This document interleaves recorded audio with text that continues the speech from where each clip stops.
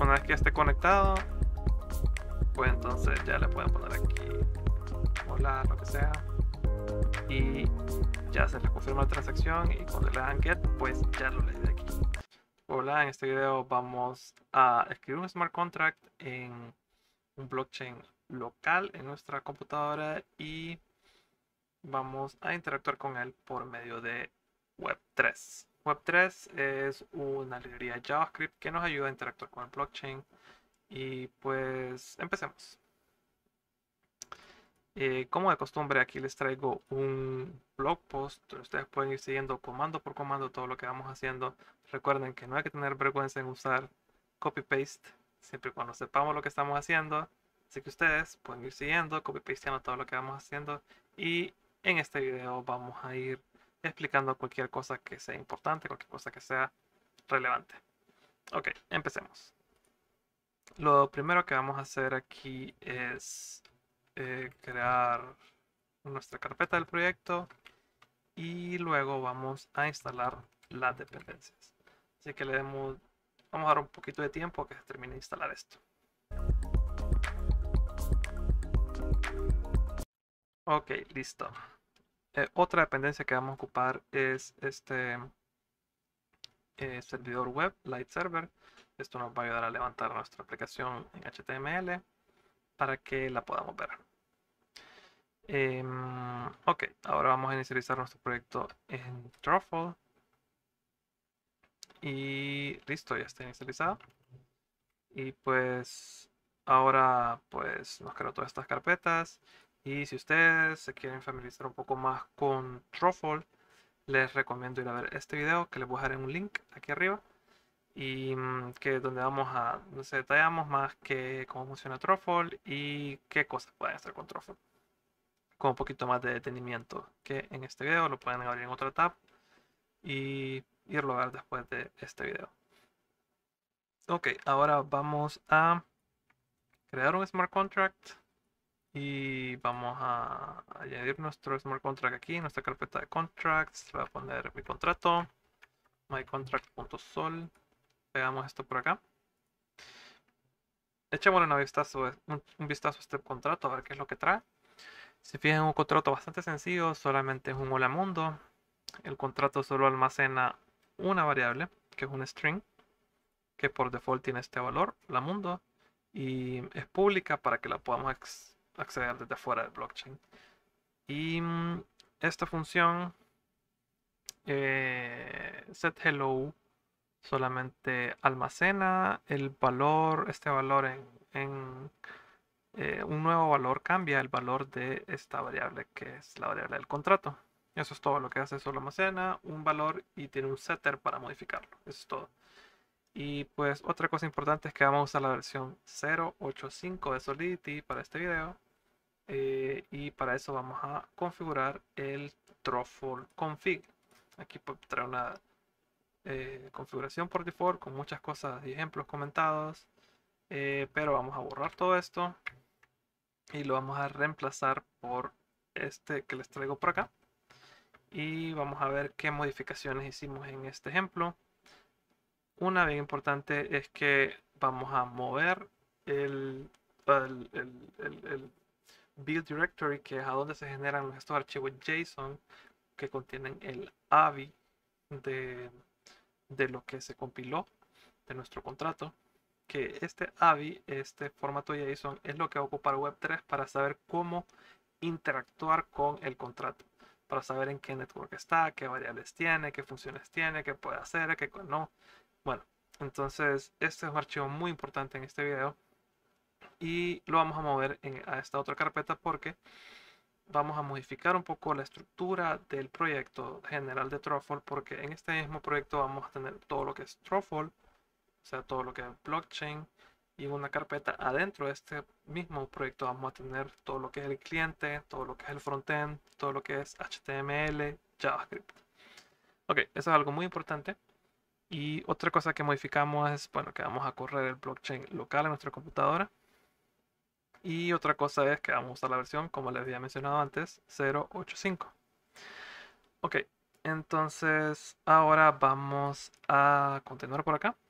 vamos a crear nuestro archivo de migraciones y la vamos a poner en nuestra carpeta de migraciones que ya saben, ¿verdad? Que Truffle ya trae un archivo de migraciones y nosotros tenemos que crear un segundo siguiendo la secuencia 1, 2, 3 para que nos permita hacer el deploy. Entonces colocamos esto por aquí. Eh, si ahora pues vamos, ya deberíamos de poder compilar nuestro contrato. A ver si todo funciona bien. Ya está. Dice que se compiló exitosamente. Y pues ahora este es un comando muy muy interesante. Esto lo vamos a correr en otra consola, como les puse por ahí. Así que abrimos otra consola. Vamos a hacer esto un poco grande. Y esto pues lo que nos corre es un blockchain completo local en nuestra computadora para que nosotros podamos hacer pruebas. Y algo muy interesante es que también crea un par de archivos, un par de, perdón, un par de wallets, un par de addresses con dinero por default que aquí nos pone sus un par de llaves privadas para que podamos acceder a estos fondos. Súper interesante esto.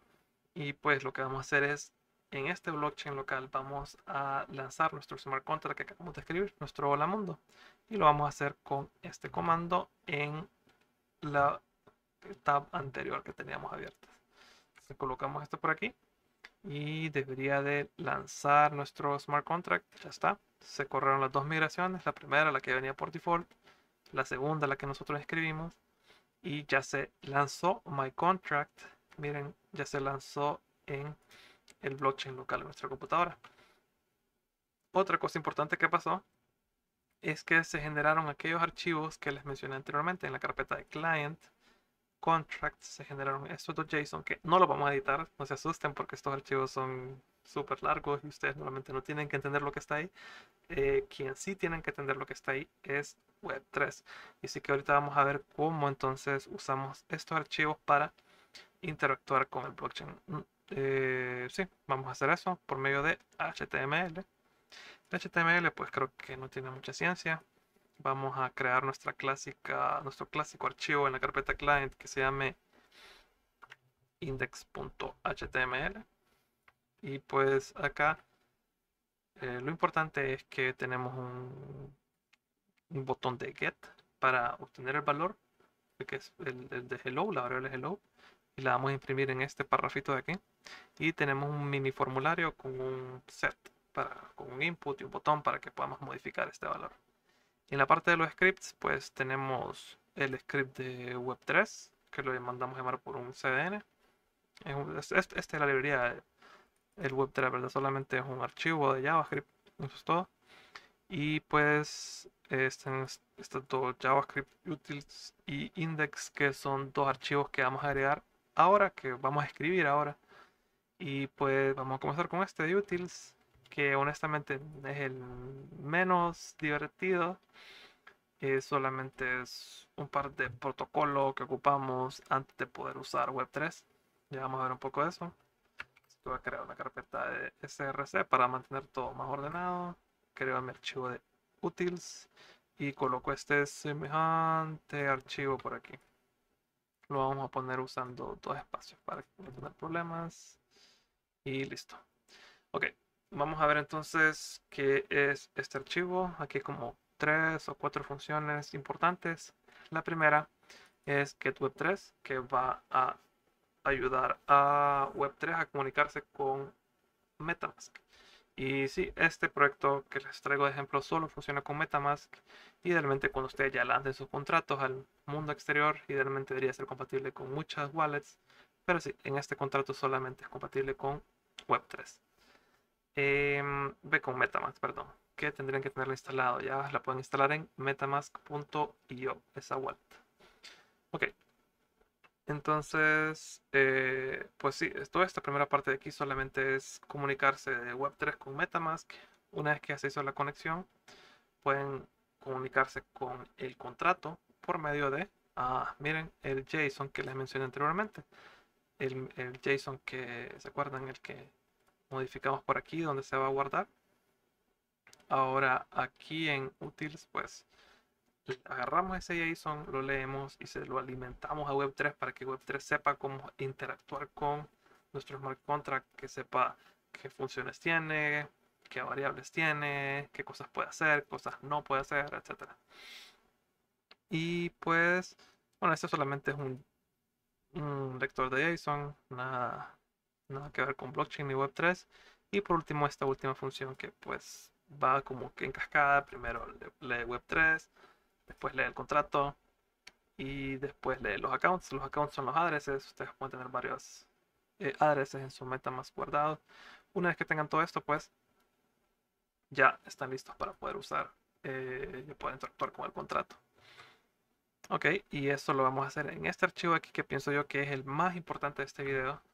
En el archivo, vamos a guardarlo también aquí al lado de utils. Este le vamos a poner index.js. Y pues acá ustedes pueden, aquí, aquí ya pueden interactuar con su contrato. El get y el set. Y pues em, aquí, si se fijan, la función get, eh, que es cuando ustedes le dan clic acá en get, mandan a llamar esta función. Eh, y el set es cuando mandan a llamar a llamar a esta otra. Y pues el get lo que hace es que va a poblar, como hemos dicho, este párrafo de aquí. Y lo va a hacer por medio de esta promise. Vamos a ejecutar esta promise y vamos a leer esta variable hello. Entonces, ¿esto qué es? Ah, lo estamos leyendo ya desde el smart contract. Vamos a ver qué está por aquí. Estamos leyendo esta variable por acá. Y pues jalamos ese string y ya la podemos tener en JavaScript finalmente. Y la otra pues set hello le mandamos esta string de parámetro. Miremos cómo se mira por acá. Aquí está la, función que estamos mandando llamar set hello y le mandamos aquí una string. Aquí ustedes le podrían mandar un string con lo que ustedes quieran. En este caso, pues vamos a leer el input que pone el usuario y eso vamos a mandarle ya a el blockchain por medio de MetaMask. Ok, creo que ya he hablado mucho. Vamos a probar esto. Y para probarlo, eh, pues nos metemos en la carpeta de client y levantamos un servidor web. Ok, una vez que estemos aquí, se fijan, ya está el set y el get, pero eh, acuérdense que primero tienen que tener el bueno, MetaMask instalado desde metamask.io. Una vez que lo tengan instalado, no es suficiente solo con tenerlo instalado porque se fijan, no va a funcionar de entrada, porque tienen que configurar esta parte que les coloqué por acá tienen que configurar que se va a conectar en este address con este ID. entonces vamos a MetaMask. Yo les recomiendo que abran esta Expand View y vamos a agregar este Custom RPC. Y en Network Name pues le pueden poner aquí localhost, no sé, puede ser lo que ustedes quieran. Este de aquí, el URL pues es este de acá, con todo el puerto y el chain ID es lit 1337. Además lo dejan así y le dan save. Ok, ya pueden cerrar esto y pueden regresar acá y colocarse en localhost. Pues bueno, tienen que refrescar y ahora pues ya funciona. Ya estamos leyendo desde blockchain, desde Ganache y ustedes aquí le pueden eh, pueden cambiar el valor y bueno, antes, todavía no pueden cambiar el valor, lo siento. Eh, tienen que colocar, porque ustedes ocupan gas para hacer las transacciones. Y pues no tenemos gas todavía. Y para tener gas, entonces lo que vamos a hacer es cabal agarrar una de estas llaves privadas. ¿Se acuerdan del ganache, el blockchain local donde está corriendo todo esto? Pueden agarrar cualquiera. Vamos a agarrar esta. Vamos a copiar. Y vamos a agregar, importar, perdón, un nuevo account con la llave privada, la colocamos y se ve, ya tengo 100 Ether y hoy sí, ya, uy, ¿por qué no? No me dejo, creo que no lo tengo seleccionado, ¿será? Tengo que seleccionarlo y tengo que refrescar, get, hola, ay, ¿por qué no? No tengo seleccionado el, el account que es este. Ah, fondos insuficientes. Pues aquí me... Ah, no está conectado. Ah, tengo que conectarlo desde aquí entonces. Connect. Ok. Aquí hasta que les aparezca connected aquí, ¿verdad? Ok, bueno, entonces set hello. Vamos a ver ahora. Refrescar. Vamos. Ok, hoy sí. Bueno, vamos a ver, repitamos lo que hicimos. Eh, primero, entonces, añadir localhost por aquí. Segundo, añadir acá el account con su llave privada. Tercero, entonces, conectarlo. Y pues, em, una vez que esté conectado, pues entonces ya le pueden poner aquí hola, lo que sea. Y ya se les confirma la transacción y cuando le dan get, pues ya lo lee de aquí. Ok, esto es bastante crudo.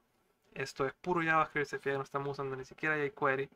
Recuerden que encima de esto pueden construir, pueden, usar esto en, encima de cualquier, cualquier frontend framework que estén usando. Pero normalmente con el su aplicación, normalmente no van a querer hacerlo como lo estamos haciendo en este video. Normalmente lo van a querer hacer usando eh, algún frontend framework, como por ejemplo React, Vue, eh, Angular. Y pues mi recomendación sería que usaran eh, React, es lo que más, más se usa. Hay más ejemplos, pero si, si de su preferencia es usar Vue, Angular, pues también tiene viaje, no hay problema. También lo pueden hacer. Y pues este video quería hacerlo más genérico, aunque sea súper crudo. Espero que no les hayamos dado una mala impresión de Web3, pero sí eh, creo que es bien importante saber los fundamentos, de dónde vienen las cosas, para que cuando estén usando su super framework avanzado, eh, sepan que abajo pues lo que está ocurriendo es Web3, digamos, o lo que sea que estén usando. Eh, y pues sí, este siento que es un, buen, una buena forma de comenzar eh, desde abajo para arriba. Y eso es todo. Em, bueno, los invito a que se suscriban si quieren ver más videos de blockchain. Si quieren que profundicen en algo específico, me pueden poner en los comentarios. Eh, si tengo el conocimiento y me parece interesante también, pues puedo hacer un video. Eh, por ahora, pues creo que los siguientes videos que se vienen son de NFTs, de... Mm, eh, tengo que, quiero hacer más videos sobre los Optimistic Rollups y sí, todo lo que sea nuevo que se viene en desarrollo de blockchain, espero estarlo poniendo por aquí. Así que les agradezco que se suscriban y muchas gracias por ver este video.